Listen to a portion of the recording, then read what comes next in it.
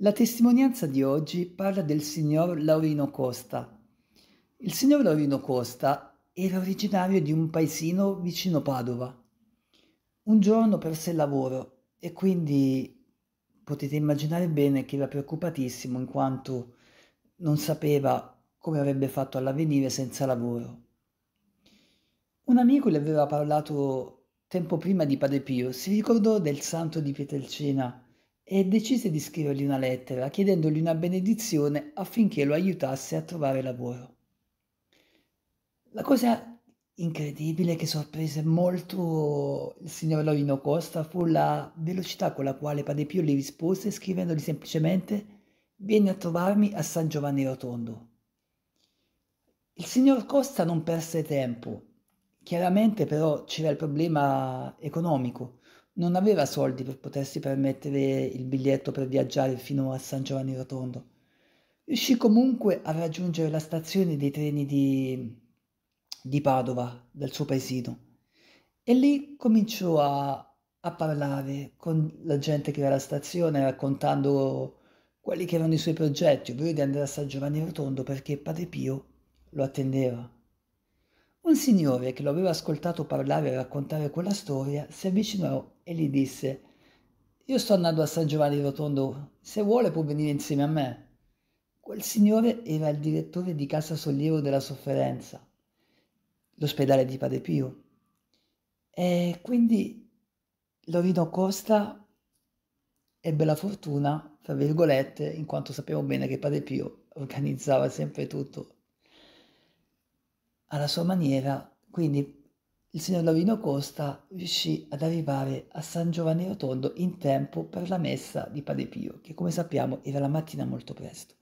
Subito dopo la messa, il signor uh, Lavino Costa andò insieme agli altri fedeli ad incontrare Padre Pio per la benedizione. Non potete immaginare, immaginare quale fu lo stupore quando lì in mezzo a tutti gli altri fedeli, per la prima volta nella sua vita vide Padre Pio. Ma la cosa incredibile è che nonostante non l'avesse mai visto prima, o incontrato prima, se preferite, Padre Pio guardò Lavino Costa come se lo conoscesse da sempre e a gran voce lo chiamò per nome dicendo Lovino, vieni qua, vieni.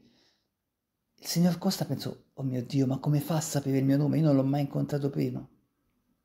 Vieni qua, ti ho detto, Lorino, ripeté Padre Pio. E il signor Costa si avvicinò. Padre Pio lo guardò e disse, sa cosa devi fare adesso? Adesso tu vai nel mio ospedale, Casa Sollievo della Sofferenza, e prepari da mangiare per tutti i miei ammalati. Il posto da, da chef è tuo.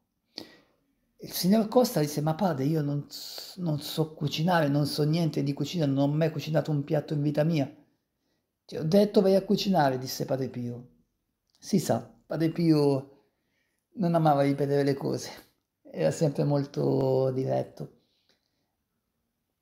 E il signor Costa lo guardò e disse, almeno se ci vado, promettete che mi assisterete. Tu vai e non ti preoccupare, io sarò con te, disse Padre Pio. Chiaramente pieno di paura, il signor Costa attraversò diciamo, cam- la strada e arrivò fino a, all'ospedale Casa Sollievo della Sofferenza. Una volta lì fu accolto da, da una suora che disse Ah, è il famoso chef che attendevamo, che bello che sia qui. Venga, venga, venga, le presento il resto della, dello staff. Voi potete bene immaginare quale fu la sensazione che il signor Costa ebbe nel cuore, ebbe paura, non era mai cucinato e di colpo si ritrovava a capo di questo, di questo staff di cucina e guardava estasiato tutti quegli ambienti pieni di, di cibo, di, di persone, di pentole, di, insomma di tutto quello che serve per cucinare. Quel giorno, dirà in seguito il signorino Costa, ho cucinato per 450 persone. Il signor Davino Costa affermò anche, non so spiegarvi come, ma appena misi piede in cucina Era come se avessi cucinato da sempre, conoscevo quel posto nei minimi dettagli, sapevo esattamente cosa fare e cosa dire per cucinare dei piatti. Si sa, le vie del Signore sono infinite. E il signor Davino Costa divenne lo chef di Casa Sollievo della Sofferenza. Grazie per aver ascoltato questo video e alla prossima.